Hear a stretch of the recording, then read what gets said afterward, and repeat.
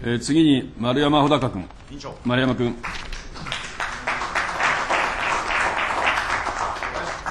日本維新の会の丸山穂高でございます。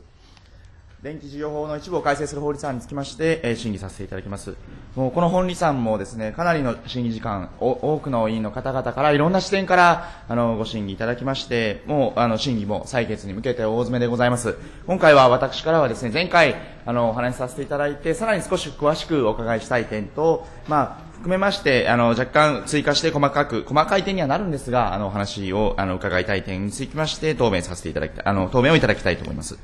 まず我が党としましてはですね、まずそもそも自由化していくという方向性についてはもう賛成でございますし、まあ、今回はですね、その、茂木大臣を含めまして、あの政府の方々からもですね、まあ、スケジュールの前出しの可能性も含めてしっかりやっていくんだと、で、誠実なご答弁をいただいております。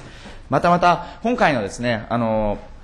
法案は3段階中の 1, 1個目であるということと、そしてまだエネルギー基本計画についてもですね、まだまだあの取りまとめ中でございまして、詳細が見えてこないということで、あの我が党としましては、まずこの第1段階目はしっかりやっていただくと、そして本丸としてのその後第2段階目、第3回目の段階目のですね、小売りの自由化、そして発送電分離という形での、もしっかりそこでもですね、議論させていただいて、もしそこで、その、今、きっちりやっていくというところに緩みがあればですね、我々もしっかりそこを指摘、具体的に指摘させていただくという方向性で考えております。まあ、そうした中でですね、先ほど少し申し上げました、エネルギー基本計画につきまして、先日、環境委員会でもですね、あの、ご質問させていただく機会がございまして、えー、大臣のご見解を伺いました。まあ、その中でですね、その、あのベストミックスもあのについても検討中ということでございますが、エネルギー需給の問題とですね、も逆に言えばその311以降のですね、その京都議定書、ポストポスト京都議定書を見見据えた上でのですね、CO2 の排出量と、その環境負荷の軽減といった意味でのバランス感というものが非常に難しく、また重要になってきていると考えられるところでございますが、こうした点につきまして、経産省さんとしまして、経産省としてどのような認識でいらっしゃるのか、あのお答えいただければと思います。菅原経済産業副大臣。えー、まず3.11を日本のエネルギー需給、大きく変化がありました。また、そうした中でも、いかなる事態におきましても、国民の生活や経済に支障をきたさないように、このエネルギーの需給の安定ということに万全を期すことが大前提でございます。その上で、今、丸山委員ご指摘のございました、この環境負荷の軽減とエネルギーコストの低減とのバランスを考えていく、これまた重要なことでございます。3.11の大震災以来、安定供給とエネルギーコストの課題が浮き彫りとなったことを踏まえまして、中長期的なエネルギーの政策の方針となります、エネルギー基本計画の策定にあたりましては、環境にも配慮しつつ、安定供給、コスト低減に重点を置いて、えこの後取りまとめになります、この計画の中で、政策の軸、方向性を明確に示してまいりたい、このように考えております丸山穂高君。その環境の面に関しましても、しっかりあの検討していただくことをあのお願い申し上げます。あの、意味軸も先ほど、あの、おっしゃいましたですね、この、まあ、電力の安定性という意味で、まあ、我が国は極めて優秀である、まあ、電力のですね、安定というものを有しておりますが、まあ、そうした先人の努力の積み重ねでですね、できてきたこの電力、電力に関しまして、さらにより良いものにしていくというですね、今回は本当にその先人の積み重ねてきたものを超えていく方向性につきまして、しっかりとですね、やはり細かいところまで含めて議論していかなければですね、また失敗のないようにしていかなければ、せっかく安定に向けて、あの、安定化という現状がある中でですね、あの、悪い方向にも行きかねないところでございますので、しっかりと、あの、細かい部分につきましても、制度設計のほどお願い申し上げます。そういった意味で、前回のご質問させていただいた中でですね、その、電力料金や、まあ、供給の安定性につきまして、まあ、どのように電力システム改革が、あの、影響を与えるのかというお話をさせていただきました。その、基本的には発電コストの、まあ、低減を目指していくと、そして、なおかつ料金を抑制していく方向になっていくように制度設計をしていくということでございますが、前回のあのご答弁ではですね、あの、笠谷部長や、まあ、あの、茂木大臣からもご答弁いただきまして、ドイツやアメリカ、まあ、イギリスといった他国の例を挙げられまして、まあ、そうした中で日本に合う適切な制度設計を、まあ、運用していくと、適用していくために検討していくという形でご答弁いただいたんですが、現状としましてですね、日本は今どういった状況にありまして、そして具体的にその他国の例を見据えた上で、具体的にさらに現時点でどのような制度設計をお考えなのか、そのあたりについてさらに詳しくお伺いできればと思います。資源エネルギー庁、勝谷電力ガス事業部長。えー電気料金の変動する要因というのはいろいろあるわけでありますけれども、あの自由化による競争が進展すればですね、電気料金を抑制する効果はあの確実にあると思っております。ただ他方で、えー海外の事例を見ますと、えー単にあの自由化するだけではうまくいかないというのはあの前回もご答弁申し上げた通りでございます。えー少し重複するところも出てくるかもしれませんが、あの少し掘り下げまして、えー具体的に申し上げたいと思います。まずあの電気料金につきまして、イギリスなど海外の事例を見ますと、競争が十分に行われない中で、えー料金規制を自由化した場合、電気料金の上昇につながったというようなことが見られるわけであります。したがって、今回の改革におきましては、えー海外のこうした教訓も踏まえまして、競争環境が整うまでの間、えーこれまでの地域独占の電力会社に対する料金規制を継続することとしております。すなわち、この仕組みの下では、規制料金よりも安い電気料金での新規参入は、えーありますけれども、高い料金での新規参入というのは一般的に考えにくいというふうに考えております。また、既存の電力会社も、え規制料金は残すわけでありますけれども、その一方で、え自由な料金メニューも作れるようにするといったようなことを考えておりまして、えこうした経過措置の間においても、え電気料金のいろんなあの提案競争というようなことを通じてですね、え電気料金の抑制という効果が働くことをあの期待をあのしたいということでございます。それからもう一つ、イギリスでは、え自由化を行った後、え企業があの統合しまして、河川化が起きてですね、それで競争があの不十分になったというふうなことが指摘されておりまして、現在、えイギリスの規制当局は、え競争促進のための追加的な対策を今考え始めているというふうに理解をしております。え我が国におきましては、えこの、え参入の自由化に先立ちまして、独立性と高度な専門性を有する新たな規制機関に移行するということにしております。でこの新たな規制機関は、えー自由化された市場のモニタリングをきっちりと行っていく、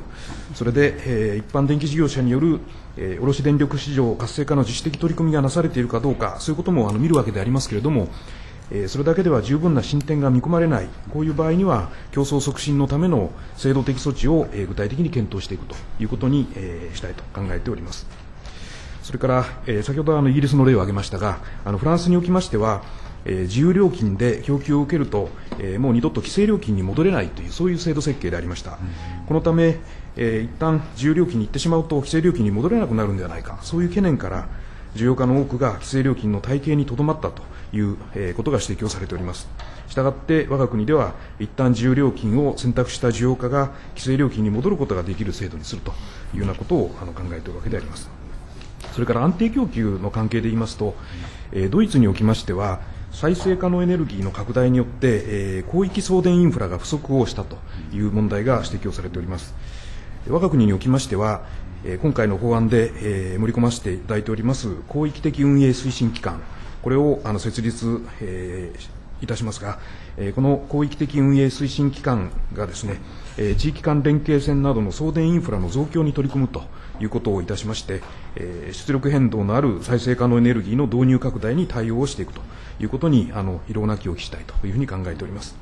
それからアメリカのカリフォルニア州でありますが、えーこちらではあの小売料金を凍結する、えー規制を行ったために発電投資が進まなかったという問題がありました。で日本においては、えー小売料金の規制を維持する期間を設けるというのは先ほど申し上げた通りでありますが、えーこの間も、現行制度と同様、認可による値上げは可能とするということで、発電事業者にとってはやむを得ないコストの上昇は価格に反映できる仕組みとするということにしたいと考えております。また、カリフォルニア州では、需要の伸びに応じて発電投資が進まなかったという問題も指摘をされております。えーこういう教訓を踏まえて、えー日本では小売事業者に空売り規制をかけるとか、それから、えーそれでも、えー市場に任せるだけではあ発電所が不足するというふうに懸念される場合には、広域的運営推進機関が発電所の建設者を募集する仕組みを取り入れまして、最終的には必ず発電所が建設される仕組みにするということで、えー単に市場に委ねるだけではないという仕組みをあの導入をすることといたしております。それからまた、あのニューヨーク州の大停電などが問題に挙げられました、あの東、えー米国の東部での、えー停電の、えー例でありますが、この場合には、えー事業者間の連携不足で、これが、えー停電範囲の拡大を招いたというふうにあの指摘をされております。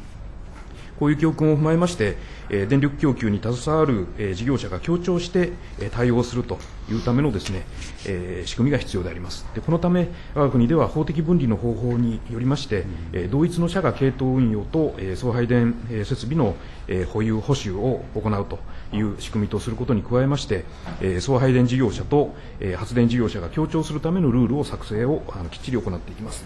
あの実際、具体的にはあの今後、第2段階、第3段階も含めた詳細な制度設計の中で、えーまたあの、えーご審議いただくことになりますけれども、そういうようなあの考え方に従って、えー進めてまいりたいと考えております。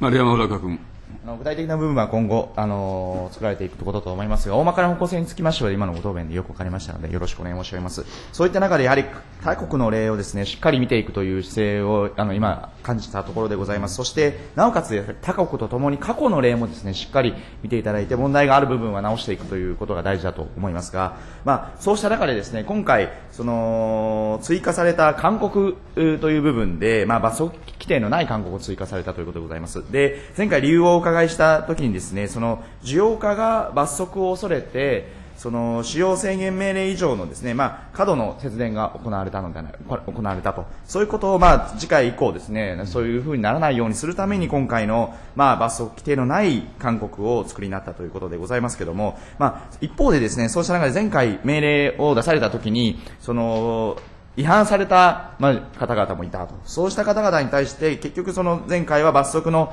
適用をされなかったということでございますが、今回罰則のない勧告も定めたということでござ、定めるということでございますので、これが仮に、あの、改正された場合には、今回その罰則のある方のですね、あの、を出した場合に、それを違反した場合にはきちんと罰則に対して、えー罰違反したものに対しては、きちんと対処していく罰則を課していくというお考えなのか、またさらにその、えーそれでも従わない方も出てくる可能性がございます。そうした場合に、命令の罰則強化等のお考えまであるのか、そのあたりのそのデマケーションについてもう少しお詳しくお伺いしたいと思います。資源エネルギー庁、高原長官。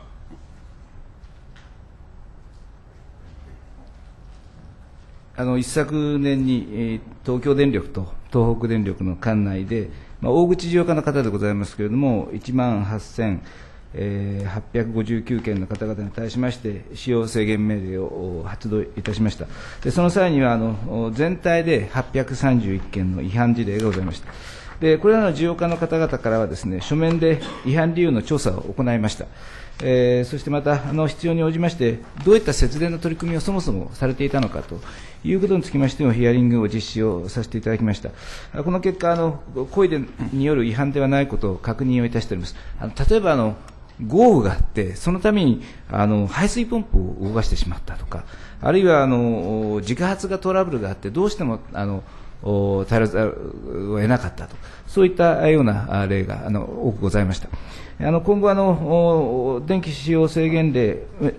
あの命令の方を発動した場合にも、お前回と同様に違反の理由でございますとか、あるいはあの場合によっては節電の取り組みなどをお調査した上で、えーえー経産省として告発をするか、えーに中につきまして、えーきっちりと判断をしていきたいというふうに考えております。またあの、お一昨年のあの電気の使用制限令を発動した際には、今申し上げたようなあの調査結果でございましたので、まあ、あの改めてその罰則を強化をしなくてはいけないような悪質な違反事例はあ見受けられなかったということを合わせてあの申し添えてさせていただきたいと思います。以上でございます丸山穂高君。ご答弁ありがとうございます。あのーこの件に関しましてはですね、故意かどうかというのは非常にその見分けが難しいところではございます。あのーもう故意がある方でもですね、いや、故意じゃないんだということもできますので、まあ、状況も見ながらということでございますけども、しっかり、あのー運用していくところではですね、しっかりやっていくことが大事だと思いますので、あのきちんと、えー今回分けられたということでございますので、しっかりとした運用のほどをね、申し上げます。そして、まあ、今回の電力システム改革の目的としましてですね、あの、需要家の選択肢や、まあ、事業者の、あの、事業機会を拡大するということを、あの、の定められております、掲げられておりますけども、まあ、そうした中で今回、不足にてスマートメーターの導入のことが書かれているんですけども、その他に関して具体的な部分に関しましては、あの、見受けに、まあ、見られにくいところでございますが、現段階で政府としまして、まあ、具体的にど、他にその、需要家の選択肢の拡大といった意味やですね、その事業機会を拡大するという意味では、どのようなものをお考えなのか、あの、お答えいただければと思います。えー勝谷、え電力ガス事業部長。需要家の選択肢や事業者の事業機会の拡大のための措置についてのお尋ねでありますけれども、これは何と言いましても、やっぱり電力の自由化によって、多様な事業者の参入が可能になること、それから料金規制を自由化することで、柔軟な料金設定が可能になること、でさらに、送配電部門の一層の中立化によって、送配電網を公平に利用できるようになると。こういうことがあの新規参入、競争を促す上では、やっぱり一番大元のところだろうと思います。その上で、えースマートメーターの導入促進以外のですね具体的な方策としてどういうものがあるかというお尋ねでありますが、えー例えばあの需要家に対しまして、えー改革に関する情報提供を、えー充実、強化していくということでありますとか、えー卸電力取引所における取引量を増加させるための措置でありますとか、そういうことをあの考えておるところであります。例えばあの改革に関する、え情報提供の充実強化につきましては、消費者に対して、新たな制度ですとか、電力会社を切り替える具体的な方法などについてしっかりとお知らせをする、そういうことによって、え消費者の皆様が、え電力自由化によるメリットをしっかりと享受できるようにしていく。というようなことが考えられますし、卸電力取引所における取引量の増加ということでありましたありますれば、え取引所の、えにおいてその商品の種類を拡大する、えもしくはその取引のルールを、え見直していく、そういうことがあの考えられるのではないかというふうに思います。うん。丸山穂高君。そういった意味で供給側のですね、一般電気事業者に比べてですね、まあ今回競争を促していくということで、新規の事業者がまあ参入してくる状況でございますが、まあそうした中でも、やはりですね、この規模の経済もございますし、あの、新規の事業者が新しく入ってくる中で同じ条件で競うということは容易ではないことがですね、容易に我々でもあの分かるところでございます。そうした中で、競争原理のまあ整備が不可欠で必要だと思いますが、あの具体的にはこの新規参入者もある中でどんな施策としてですね、掲げられているのか。例えば、あの、電力公社の民営化の時にはドミナント規制といった形でですね、ある程度制度設計の中で、まあ、あの、そういった新規参入の促進という措置を取られておりましたが、今回そのような点に関しましてはどのようにお考えなのかお答えいただければと思います。菅原経済産業副大臣。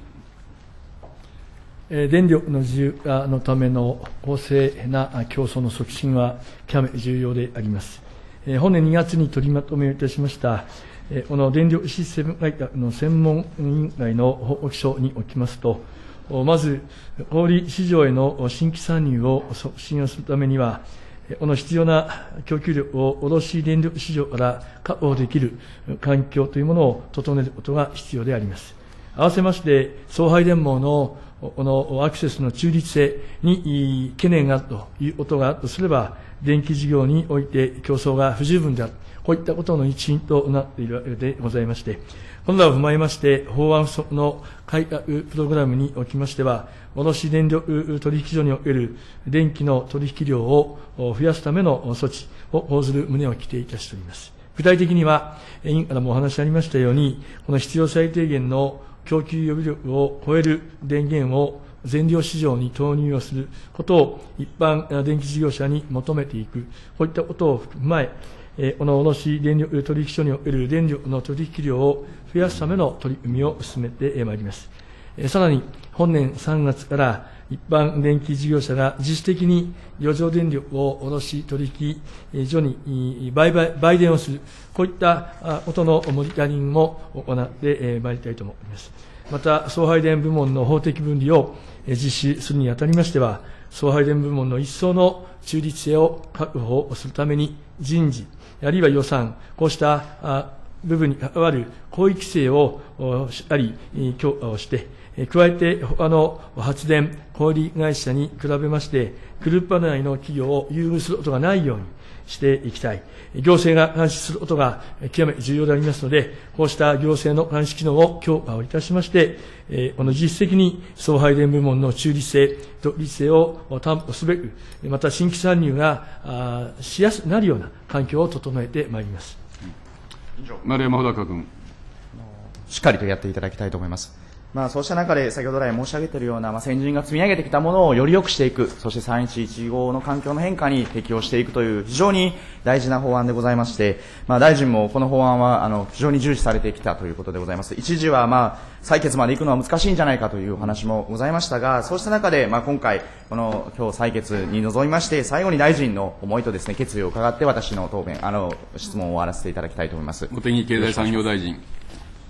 えー日本は1970年代、まあ、2度の石油ショックを、まあ、経験をいたしましたが、あの民間を中心とした、まあ、省エネの努力によりまして、えーそれを克服し、えー省エネの技術、そして省エネの製品、まあ、素晴らしいものを、まあ、確立をしたわけであります。そして、まあ、今回、えー東日本大震災を契機として、またあの世界的な、えーエネルギー、まあ、需要の増大に伴いまして、まあ、日本が新たなこのエネルギー制約に直面している、まあ、こういった中で、まあ、電力システムの改革、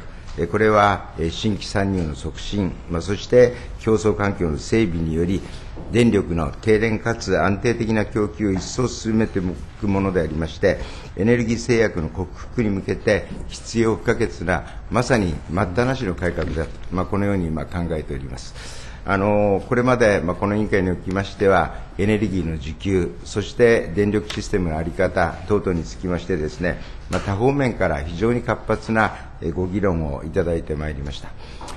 えー人類で初めて、えー月面着陸に、えー成功しました、えーアポロ11号の、えーアームストロング船長は、えー月月に降り立ったときにですね、えーこの一歩は、一人の人間にとっては、えー小さな一歩だが、えー人類にとっては、えー偉大な飛躍だと、えー述べております。私はこの言葉が大変印象に、まあ、残っております。あのこの法案を、まあ、この国会で成立させていただくということがまさにえー60年ぶりのですね大改革を進める第一歩だと考えておりまして、しっかり取り組んでまいりたいと思っております。丸山穂高君。しっかりとやっていただきたいと思います。これにて私の質疑を終わります。ありがとうございました。